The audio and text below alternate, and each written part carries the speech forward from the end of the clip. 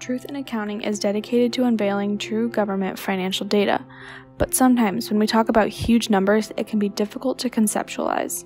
The true national debt has reached $117 trillion, which is an all time high. Our national debt reported by the US is actually much less than the true national debt. In fact, it is only calculated to be $22 trillion. But do you have any idea how much a trillion dollars is? We define a trillion in a few different ways. Take a second with us to understand just how big this amount really is.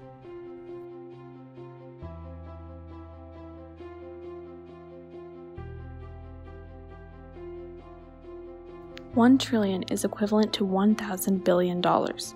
This means there are 12 zeros in it. To compare, 1 billion has 9 zeros and 1 million has 6 zeros. Let's understand the amount of trillion by using weight. 1 million ants would weigh a little over 6 pounds. 1 billion ants would weigh over 3 tons, a little less than the weight of an elephant. 1 trillion ants would weigh over 3,000 tons, that is as heavy as a Navy combat ship. Now, what if we stacked a million, billion, and trillion pennies and measure their heights? Let's see if this makes things clearer. One million pennies stacked on top of each other would make a tower nearly a mile high.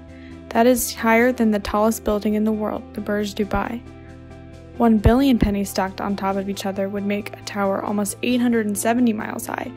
Now that is like leaving the atmosphere of the Earth. 1 trillion pennies stacked on top of each other would make a tower about 870,000 miles high, the same distance obtained by going to the moon, back to Earth, then to the moon again. Now, let's look at time. How much time has passed in a million seconds? A billion seconds? A trillion seconds? Let's find out. 1 million seconds is about 11 and a half days. 1 billion seconds is about 31 and a half years. 1 trillion seconds is over 31,000 years.